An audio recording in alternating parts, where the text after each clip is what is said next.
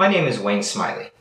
I'm a principal architect for the One Identity Active Roles Active Directory and Office 365 Management and Security product. I'm excited to welcome you today to our overview of Active Roles.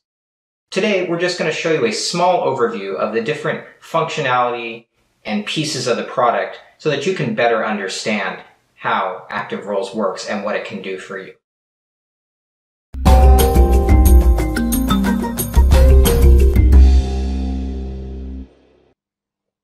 One of the most popular products in the One Identity suite is One Identity Active Roles. Active Roles is an Active Directory management security tool that also does identity and access management as well.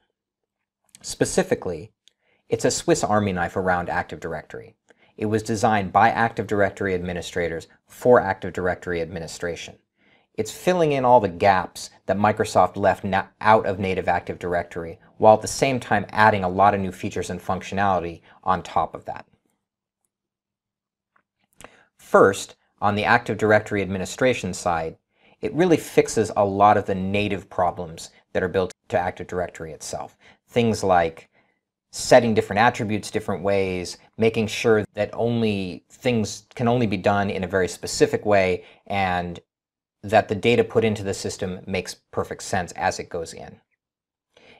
Additionally, it also layers on top of that Azure AD administration right inside the tool. So we don't have to do them from separate interfaces. Same with Office 365 as well. And on top of that, we layer on automation, things happening on their own, group membership changing based on criteria that you set, things like that. Next, we center around Active Directory security. We all know that the native Active Directory security model is very poor. We built our own security model from the ground up based on a zero up mentality, meaning that we only grant users the rights to the actual things that they need. And we can be much more granular than the built-in Microsoft security model on top of that and can grant different buckets of rights to different users in different places in Active Directory all at the same time without having to redelegate or anything like that. As we all know in native Active Directory, it's extremely hard to know who has access to what. In active roles, it's very easy to see those sorts of things. And in addition, in native AD, it's very hard to make changes to multiple locations like multiple OUs at the same time. In active roles, we can do that very simply all in a couple of mouse clicks. And in native Active Directory, there's really no accountability to know who really has access to what and who did what. In active roles, we can go through and we can do that all automatically and we can see who actually has access to what and who did what at any given time. Also, active roles can act as an identity management solution. We can get rid of all that manual work that happens now at the help desk to create users, change users, all those sorts of things that are error prone and cause problems. All that can go away and active roles can automate all those processes and it can do it very quickly and efficiently. We can also get rid of the multiple interfaces that are required now, be it the uh, ADUC console or Active Directory users and computers, the Azure AD portal, the Office 365 portal. All those can be replaced, at least on the help desk side, with Active Roles itself through a nice, easy to customize and use web interface. So we've talked a little bit about what Active Roles is, but how does it actually do all of this? Active Roles is a whole set of pieces, and those pieces all work together in order to form what is the ultimate solution. We start with an extremely well-designed security model inside of active roles that lets us grant rights and permissions and roles in a granular way without causing difficulty to actually do it, as well as being able to see everything later on and know who really truly has access to what and what rights and roles they actually have.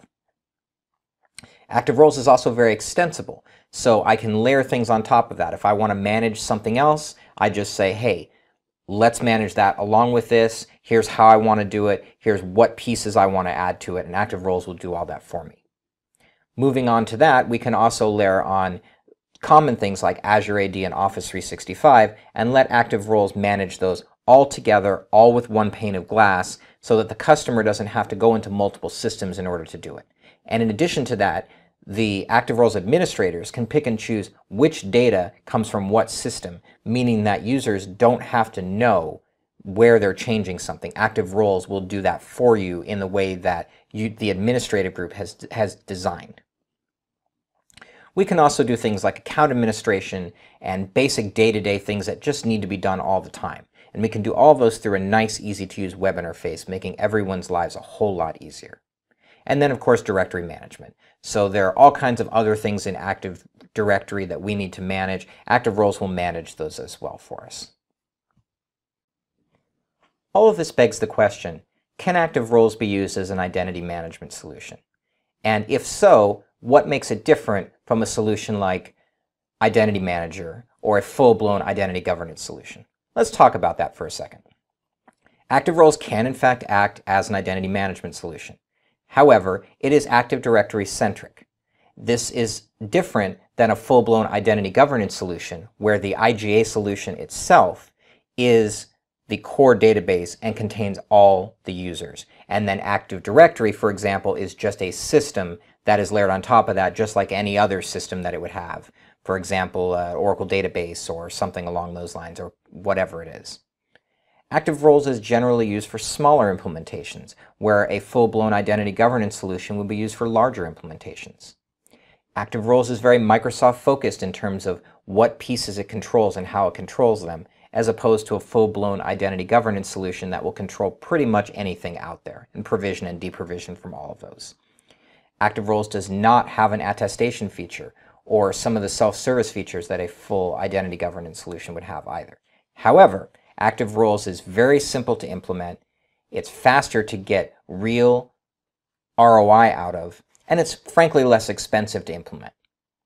So as you can see, there are pluses and minuses to using both systems, and it's your job to help figure out which is the correct one for a particular customer.